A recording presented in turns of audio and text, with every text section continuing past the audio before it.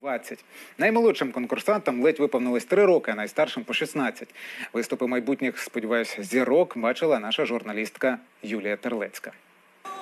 Фестиваль залучив понад 500 обдарованих дітей. Таланти демонстрували у двох номінаціях вокал і хореографія. Конкурсанти дивували не лише майстерними танцювальними постановками, а й авторськими піснями та ремейками світових хітів.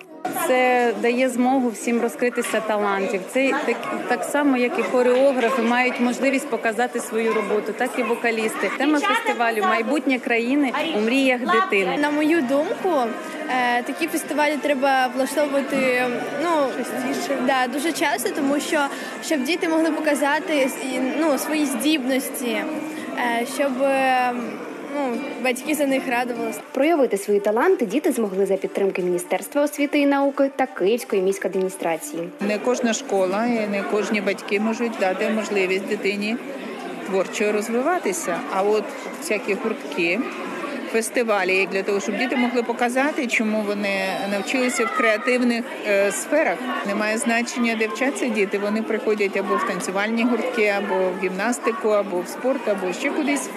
Для того щоб мати можливість розвиватися, це важливо не тільки для дітей, і батьків, також вчителі задіяні Учасники показували оригінальні костюми, зокрема, хатинку на курячих лапках, рібку і навіть шахові фігури.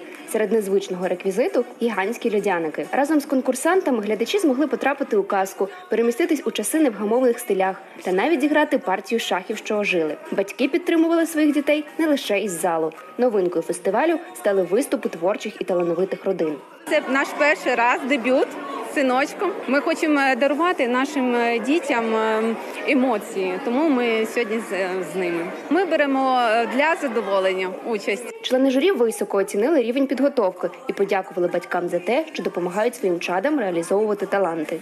Важность таких э, фестивалей очень большая, потому что они дают э, детям надежду на то, что их мечта осуществится.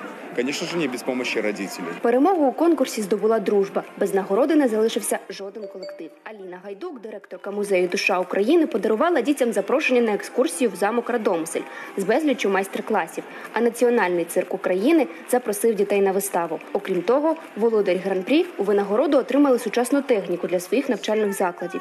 Юлія Терлецька, Андрій Сівалов, телеканал Київ.